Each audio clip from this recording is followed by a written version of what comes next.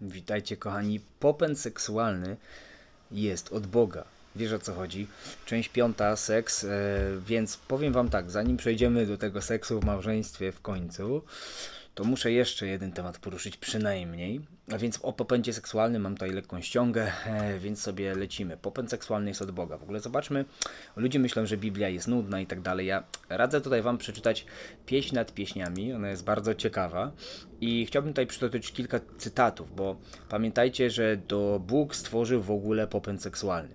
Wielu tak zwanych, jak ja to nazywam, zboczeńców religijnych, em, gdzieś tam próbuje to zniszczyć, tak? Bo e, jakby w ten celibat jakby na siłę ludzi pchają i tak dalej, nie? Ci religijni zboczeńcy. E, więc tutaj też Biblia o tym mówi w pierwszym liście do Tymoteusza 4:3, że zwodnicze nauki wejdą fałszywe, które będą zakazywać związków małżeńskich, tak? Wstępować w związki, więc e, wszelaki zakaz wstępowania w związek jest zwodniczą nauką. I dalej, wiecie, jak religia interpretuje E, to, że e, jest taki cytat w Biblii, że biskup ma być mężem jednej żony. I tutaj oni interpretują duchowo, że e, oni są zaręczeni albo poślubieni Chrystusowi, więc są jakby mężem Chrystusa. Ja Dobra. No tak to interpretują religijni jacyś zboczeńcy.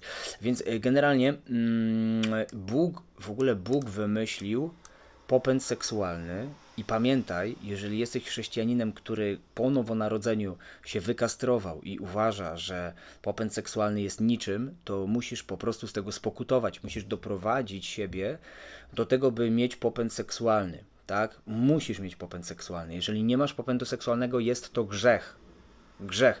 Chyba, że masz dar celibatu. Dar celibatu, o którym mówi apostoł Paweł, święty, tak, jest to dar, czyli jest to dar od Boga. E, ktoś, kto ma dar celibatu, po pierwsze, nie może być w związku małżeńskim, ponieważ w związku małżeńskim jest zasada: ciało nie należy do ciebie, tylko do żony. Żony ciało nie należy do, do niej, tylko do męża.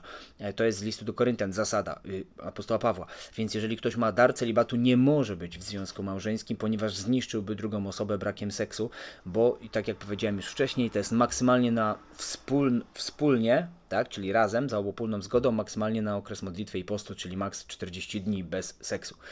Więc popęd seksualny jest od Boga, Biblia o tym mówi tutaj jasno, kilka cytatów przeczytamy, żebyście w ogóle wiedzieli. To jest niesamowite, jak e, Biblia do tego podchodzi, e, więc tutaj sobie weźmy weźmy sobie pierwsze, no te, te rozradzajcie się i rozmnażajcie. No to jak się rozmnaża człowiek? Se poprzez seks, tak? Ale wiemy już, że to nie jest tylko dla dzieci.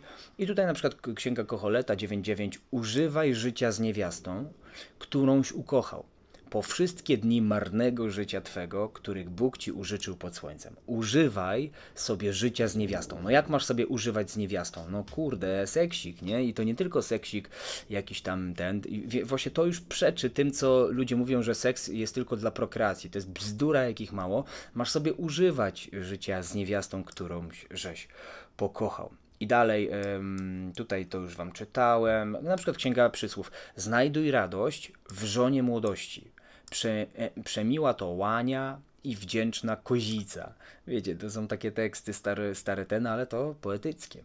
Jej piersią upajaj się zawsze. Kiedy masz się upajać piersią, piersią swojej żony? Zawsze. W miłości jej stale czuj rozkosz. Po, y, po cóż, synu mój, upajać się obcą i obejmować piersi nieznanej. Więc widzisz, jak się upajasz piersiami swojej żony, a żona upaja się swoim mężem, nie wiem czym dokładnie, nie będę mówił, to wtedy nie musicie się zdradzać, bo zdrady są zawsze, e, zawsze. W sensie zdrady są wtedy, kiedy człowiekowi czegoś brakuje, rozumiesz? Więc musicie doprowadzić swój związek, związek do, e, do, do stabilności. Wiecie, to tak jak się wypędza demony, uzdrawia chorych, tak samo doprowadza się do prawdy sferę seksualną. Rozumiecie o co chodzi? Więc musisz najpierw mieć świadomość, co mówi Biblia. Pieć nad pieśniami 1-2. Niech mnie ucałuje pocałunkami swych ust, bo miłość Twa przedniejsza od wina. Woń Twych pachnideł słodka, olejek e, rozlany, imię Twoje. W ogóle przeczytajcie sobie, kochani, pieśń nad pieśniami. To jest, Wam powiem, no jak ktoś myśli, że w Biblii nie ma nic o seksie i o rozkoszy seksualnej, no to przeczytam Wam chociażby czwarty rozdział pieśni nad pieśniami, szesnasty werset. E, tak? Tak. to w ogóle mówi oblubieniec do oblubienicy, tak? Czy nie? To mówi oblubienica do oblubieńca. Powstań wietrze północny, nadleć wietrze z południa, wiej poprzez ogród mój. Jak myślisz, czym jest jej ogród? Tym jest jej ogród. Niech popłyną jego wonności, niechże wejdzie mój miły do swego ogrodu i spożywa jego najlepsze owoce. Tu mówi o seksie oralnym. Na przykład może mówić o seksie oralnym albo o, po prostu o seksie. A teraz oblubieniec się odzywa. Wchodzę do mego ogrodu. Siostro ma oblubienico. Zbieram mirrę z moim balsamem. Spożywam plaster z miodem moim, tak? Plaster z miodem moim. Chłopie. Przecież to nie będę mówił, jak ta czynność się nazywa, ale chyba faceci wiedzą. Piję wino moje wraz z mlekiem moim.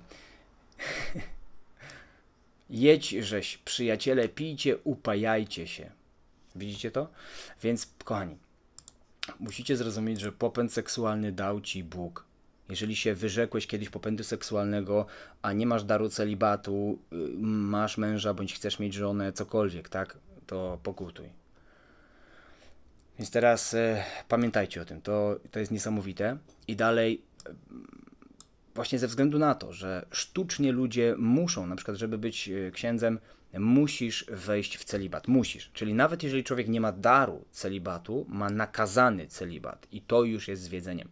Ponieważ wtedy e, właśnie człowiek nienaturalnie e, musi względem jakiegoś tam wyznania religijnego coś zrobić. No ale oczywiście to jest ich wyznanie, mają do tego prawo, ale jakby ktoś się mnie pyta, dlaczego ja nie chciałem być księdzem. No bo tam jest wiele różnych rzeczy, w tym to, żeby być duchownym, trzeba być w ogóle e, jakby w celibacie. Oczywiście jest od tego jakieś tam obejście czasami i tak dalej, tutaj nie będziemy wchodzić w to, ale generalnie tak jest. I teraz pamiętajcie o pedofilach.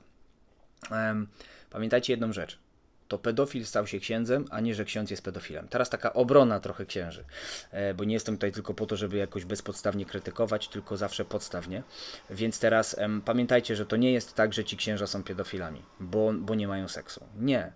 To pedofil, który już miał z tym problem, stał się księdzem i po prostu ma jakby możliwości, bo z tymi dziećmi gdzieś tam się spotyka. Rozumiecie o co mi chodzi? Więc e, bycie księdzem dało mu przestrzeń do. Mm, do ekspansji tego, kim naprawdę jest. Taki człowiek, pedofil, powinien być uwolniony od demonów, sterapeutyzowany duszpastersko poprzez odpowiedniego duszpasterza e, i e, doprowadzony do, do, do tego i wtedy oczywiście nawet w celibacie czy bez celibatu to nie ma znaczenia.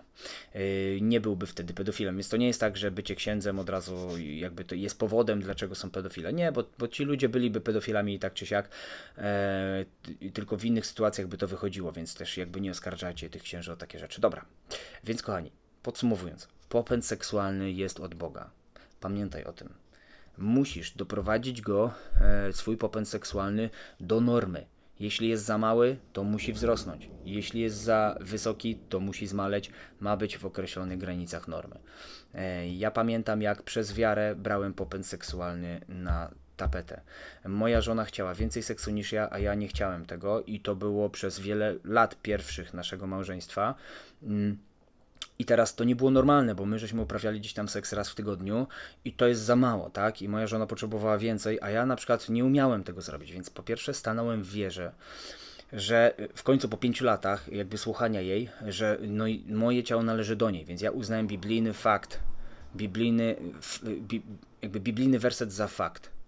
Więc powiedziałem sobie dobrze, bo nie jest to żadna nimfomania, tylko normalne, wiesz, współżycie małżeńskie, więc y, postawiłem to, muszę najpierw uwierzyć, że będę chciał, bo to nie jest tak, że ja się będę teraz zmuszał. Muszę uwierzyć, że będę chciał. I teraz co się stało? Po pół roku, jak postanowiłem, przyszedł przełom, widzicie, czyli nie przed od razu, ale ja zacząłem wyznawać, wierzyć, być pewny, mówić o tym, rozmawiać w inny sposób, nie stawiać się okoniem, że nie. I odkryłem w sobie w modlitwie, podczas modlitwy po pół roku przyszło mi rozwiązanie, Duch Święty mnie oświecił dosłownie podczas modlitwy i nie o to, po prostu o coś innego, czy nawet nie modlitwy, tylko jakiegoś spaceru, nie pamiętam dokładnie, przyszła mi myśl, że ja wizualizuję non-stop służbę, uwolnienia od demonów, uzdrowienia i tak dalej. I w mojej głowie y, kręci się wizja służby.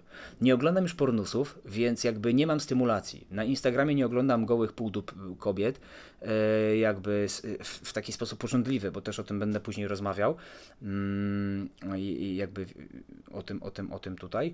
Więc nie tworzy się we mnie chcica, nie? No i teraz y, nie, i Bóg mi mówi, musisz wizualizować swoją żonę nago. On wie, aha. I wiesz, i zauważyłem, że po prostu mi na przykład tego brakowało. Ja nie wiem, czego tobie brakuje. Może masz jakieś traumy, może coś, bo są ludzie skrzywdzeni, którzy potrzebują najpierw duszpasterskiej pomocy, żeby doprowadzić e, jakby seksualność, tak? Ale nie rób tego, że o, mi się nie chce seksu, albo o, y, coś tam. Nie, nie, nie. Zobacz, co jest przyczyną. Zobacz, czy czasem nie jest to trauma, skrzy, krzywda jakaś, może jakiś gwałt, yy, może coś, może jakiś zły dotyk. Yy, I, i, I doprowadź się do prawdy. Bóg cię uzdrowi, Bóg uzdrowi twoje serce. Seks jest dobry, porządliwość seksualna, jeśli chodzi o małżeństwo, jest od Boga, tak? To w ogóle popęd seksualny jest od Boga, więc więc wejdź w to. I, I mi się wtedy zachciało seksu, bo zacząłem wizualizować swoją żonę nago. I później żeśmy ustalili z żoną pewne rzeczy. No i, ale zawiało. Później ustaliliśmy z żoną pewne rzeczy, no i po prostu zaczęło się, tak? O, ty, o igraszkach powiem nieco później, ale zaczęliśmy też różne rzeczy po prostu zmieniać, więc dzisiaj moja żona nie ma ze mną problemów seksualnych. Więc wszystkiego dobrego, porządliwość seksualna w małżeństwie, jak mówiłem wcześniej, jest git. Popyt seksualny jest od Boga. Pamiętaj o tym, Bóg to stworzył. Amen.